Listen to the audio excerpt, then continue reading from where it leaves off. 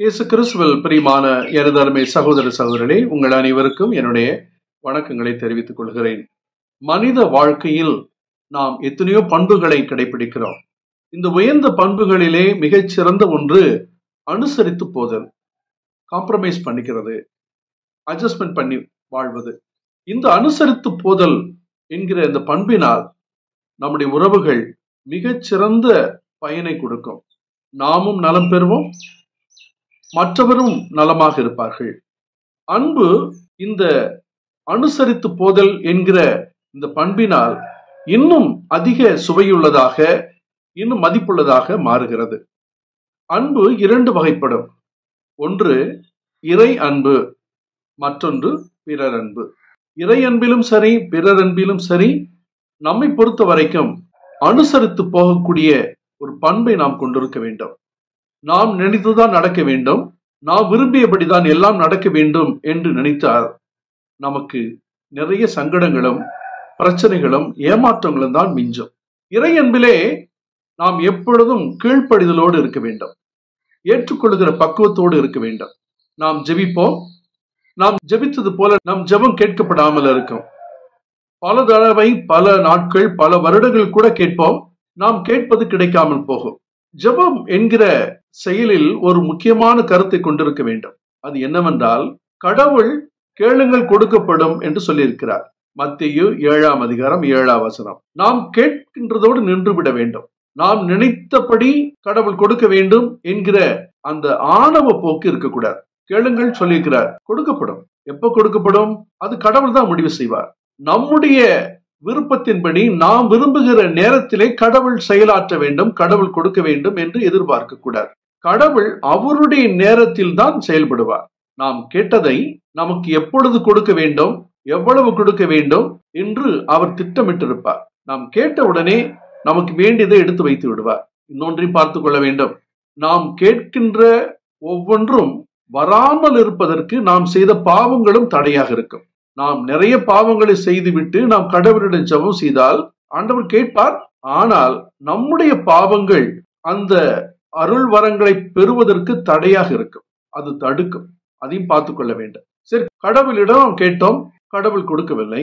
நாம் என்ன செய்ய வேண்டும்? ஆண்டவரை உம்முடைய விருப்பம் எப்பொழுது கொடுக்க வேண்டும் என்று விரும்புகிறீரோ உம்முடைய விருப்பப்படி நடக்கட்டும். அது வரைக்கும் நான் அதை ஏற்றுக்கொள்கிறேன் என்று அனுசரித்து போகக்கூடிய பக்குவம் நமக்கு வேண்டும். கடவுள் ஏன் என்னை இப்படி படைத்து விட்டார்? கடவுள் எதற்காக எனக்கு இந்த துன்பங்களை கொடுக்கிறார்? நான் நன்றாக இருக்க வேண்டும். கஷ்டப்படாமல் இருக்க வேண்டும். துன்பப்படாமல் இருக்க வேண்டும். எனக்கு எந்த பிரச்சனையும் இருக்கக்கூடாது என்று நாம் நினைப்பது தவறு. மனிதனாக இருந்தால் போராட்டம் தான் வாழ்க்கை. போராடித்தான் வாழ வேண்டும். எனக்கு போராட்டமே இருக்கக்கூடாது என்று சொன்னால் நம்மை அதிகமாக நேசிக்கிறோம் என்று அர்த்தம். அப்படி யாரும் கஷ்டப்படாமல் வாழ்ந்து பெரிய மனிதர்களாக பெரிய சாதனை புரிந்ததாக வரலாறு இல்லை. ஆண்டவர் நம்ம இப்படி படித்திருக்கிறார் என்றால் அதற்கு ஒரு நோக்கம் இருக்கும் அர்த்தம் இருக்கும். அதன்படி நாம் வாழ வேண்டும். கடவுள் நம்மை வழி நடத்துவார் என்று அவரோடு சார்ந்திருக்க வேண்டும்.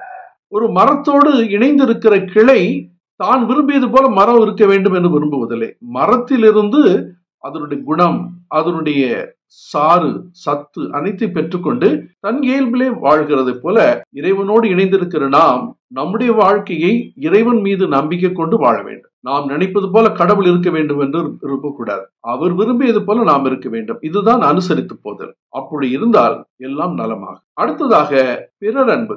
பிறரன்பிலே மிக மிக முக்கியமான ஒன்று இந்த அனுசரித்து போதல். அனுசரித்து போகலன்னு வச்சுங்களேன் அதே மாதிரி மற்றவங்களும் அப்படி அனுசரித்து போகலன்னா ரெண்டு பேருடைய தலைக்கணமும் அகங்காரமும் ஆணவமும் இந்த உறவுகளை சிதைத்து விடும் நிம்மதி இருக்காது சண்டை சச்சரவுகளுக்கு குறை இருக்காது ஏச்சு பேச்சுக்களுக்கு குறை இருக்காது அங்கே சமாதானம் இருக்காது சந்தோஷம் இருக்காது. அனுசரித்து போக வேண்டும். ரெண்டு நண்பர்கள் ரொம்ப அன்பா பாசமா நட்பா இருந்திருக்கிறாங்க.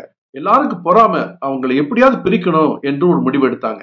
அப்போ அவங்க ரெண்டு பேரும் கூப்பிட்டு ஒரு போட்டி வைக்கிறாங்க. இப்போ இந்த வாட்ச் வாட்ச் நடுவில் வைக்கிறேன். உங்க ரெண்டு பேர்த்துக்கு நடுவில். நீ இது உனக்கு உனக்கு வேணும்னு கேளு. நீ இது உனக்கு வேணும்னு கேளு. இதுதான் போட்டி. சரி என்று சொல்லி ரெண்டு பேரும் உட்காந்துருக்குறாங்க அவங்க நடுவில் ஒரு பெரிய வாட்ச் அழகான விலை உயர்ந்த வாட்ச் யாரா இருந்தாலும் அது விரும்புவாங்க. இப்ப போட்டி ஆரம்பிக்குது. நடுவில் வச்சாச்சு. ஓகே ஆரம்பிங்க என்று கேட்ட உடனே முதலாம் அவன் கேட்டான். இது இந்த வாட்ச் எனக்கு வேணும் என்று சொன்ன உடனே அடுத்தவன் சரி வச்சுக்க. உனக்கு பிடி பிடிச்சதுன்னா வச்சுக்க என்று அவன் சொன்னானாம். சண்டை வரல. இது அனுசரித்து போதல். மற்றவங்கெல்லாம் என்ன நினைச்சாங்க? இவனு இந்த வாட்சி சண்டை போடுவான் அவனும் இந்த வாட்சி சண்டை போடுவான் அப்படியே ரெண்டு பேரும் சண்டை போட்டு பிரிஞ்சிருவாங்க அப்படின்னு நினைச்சாங்க. ஆனால் அவங்க ரெண்டு பேருமே அனுசரித்து போறாங்க. ஒருவேளை அவன் எனக்கு இந்த வாட்ச் வேண்டும் என்று கேட்டதால் இவன் என்ன சொல்லிப்பான்? சரி நீ வச்சுக்க என்று சொல்லியிருப்பான். அனுசரித்து போகிற பக்குவம் மனம் எங்கிருக்கிறதோ அங்கே சமாதானத்திற்கும் சந்தோஷத்திற்கும் நிம்மதிக்கும் குறை இருக்காது. அன்புக்கினவர்களே இந்த அனுசரித்து போகிற ஒரு பக்குவம் சாதாரணமாக வந்து விடாது. பிறர் மீது அக்கறையும் அன்பும் நிறைய இருந்தால் தான் அனுசரித்து போவார்கள். இந்த அனுசரித்து போகின்றவர்கள் எந்த தியாகத்தையும் செய்ய தயாராக இருக்கும் அதை இழப்பா கருத மாட்டார்கள். ஆதாயமாக நினைப்பார்கள். பொதுவாக சொல்லுவாங்க வாக்குவாதத்துல ஜெயிக்கிறவங்க உறவுகளை இழந்து விடுவார்கள். வாக்குவாதத்திலே அனுசரித்து போறாங்க பாருங்க உறவுகளை தக்க வைத்துக் கொள்வார்கள் என்று சொல்வார்கள். வாக்குவாதத்தை ஒரு ஜெயிச்சார் வச்சுங்களேன் அவர் தோற்றவர் மனம் வெறுத்து போய் அவரிடமிருந்து விலகி விடுவார்.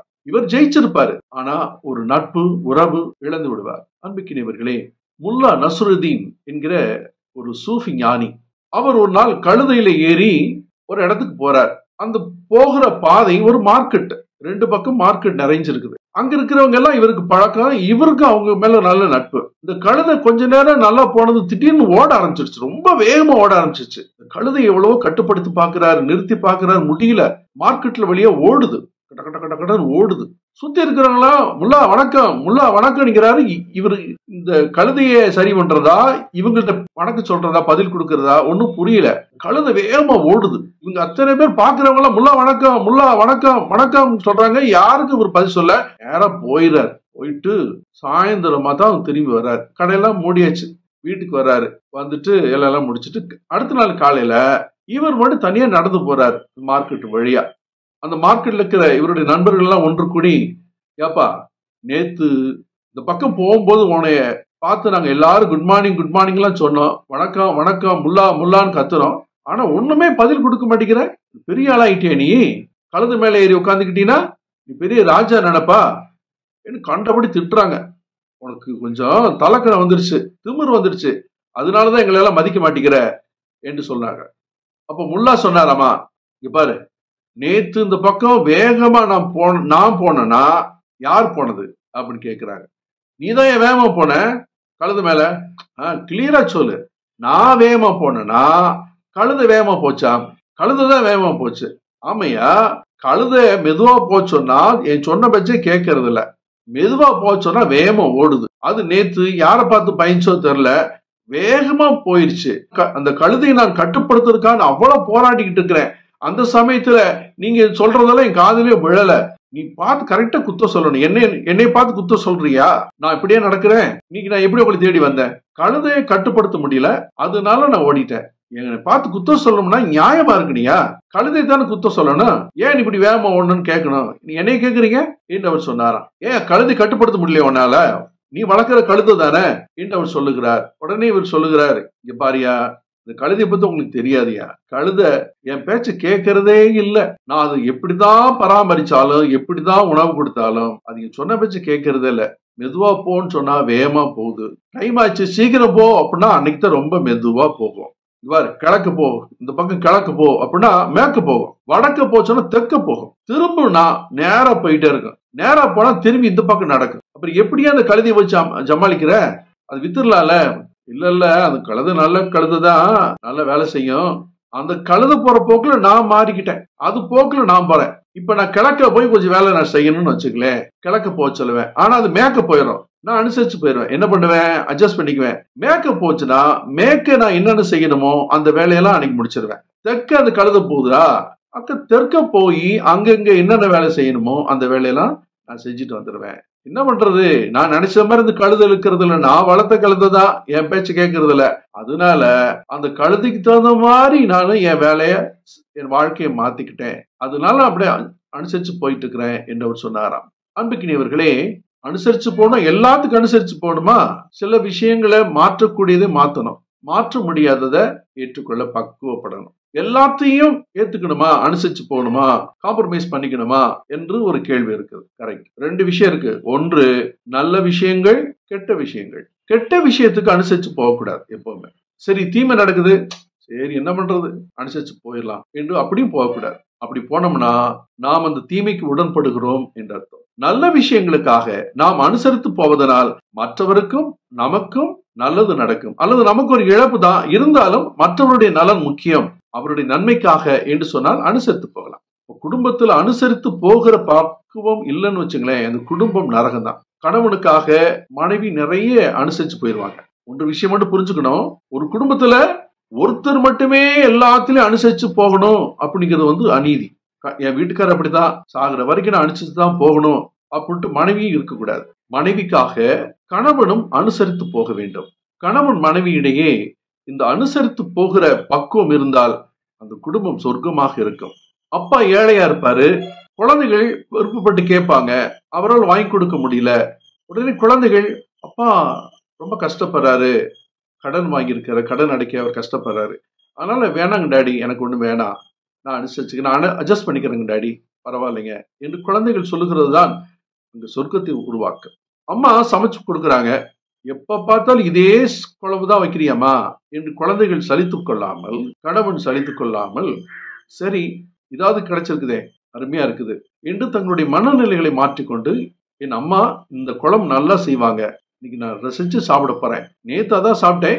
இன்னைக்கு நான் ரசிச்சு தான் சாப்பிட போறேன். எங்க அம்மா கையில சாப்பிட்டா அது தேவாமிர்தம் என்று தங்களுடைய மனநிலைகளை மாற்றிக்கொண்டு குழந்தைகள் சாப்பிடும் பொழுது அந்த தாய் மனம் மகிழ்ந்து போவார். அந்த குடும்பத்தை கடவுள் ஆசீர்வதிப்பார். மனைவி கணவன்கிட்ட நகை கேட்பாங்க. அவர் வாங்கி கொடுக்கும்ல அவர் சொல்றாரு வாங்கி தரமா எனக்கு நிறைய கடன் இருக்கு பெரிய பிரச்சனைகளா இருக்குது. நான் வாங்கி தரேன் என் மனசுல வச்சிருக்கிறேன் நீ வாங்கி தரேன். எத்தனை தடவை வாங்கி எத்தனை தடவை கேட்கறது? எத்தனை வருஷமான கேட்கறது? வாங்கி கொடுக்க மனசு இல்லை உங்களுக்கு என்று சண்டை போடாமல் சரி பரவாயில்லைங்க நீங்க முத கடன் அடைங்க. நான் அனுசரிச்சுக்கிறேன் நான். கவரிங் வாங்கி போட்டுக்கிறேன். டோன்ட் வரி கவலைப்படாதீங்க. நீங்க நல்லா இருக்கணும் குடும்பம் நல்லா இருக்கணும் என்று மனைவி அனுசரித்து போனால் அந்த குடும்பம் கோவிலாக இருக்கும். அன்பிக்கினவர்களே இந்த அனுசரித்து போகிற பக்குவம் அன்பில் வளர்ந்தால்தான் அன்பின் மகத்துவத்தை உணர்ந்திருந்தால்தான் விட்டு கொடுக்கிற மனம் இருந்தால்தான் பிறர் நலன் மீது அக்கறை உள்ளவராக இருந்தால் மட்டுமே இந்த அனுசரித்து போகின்ற காம்ப்ரமைஸ் பண்ணுகிற அட்ஜஸ்ட் பண்ணுகிற அந்த உயர்ந்த குணம் பலருக்கும் அவருக்கும் பலன் கொடுக்கும். அன்பானவர்களே கடவுளாக இருக்கட்டும் சக மனிதராக இருக்கட்டும் நாம் அனுசரித்து போவோம். நன்மைக்காக நலனுக்காக மேன்மைக்காக. ஒன்று குறைந்தியர் பதிமூன்றாம் அதிகாரம் ஒன்றிலிருந்து பதிமூன்று வசனங்கள் இந்த அன்பை பற்றி சொல்லுகிறது. எப்பொழுதெல்லாம் மனக்கசப்பு வருகிறதோ சண்டை சச்சரவு வருகிறதோ அப்பொழுது அனுசரித்து போவதற்கு முன்பதாக கோபப்படுவதற்கு முன்பதாக அந்த அதிகாரத்தை அன்பின் சிறப்புகளை பற்றி கூறுகளை பற்றி சிறப்பா படிப்போம் என்றால் படித்து முடிக்கிற பொழுது அன்பே தலை சிறந்தது.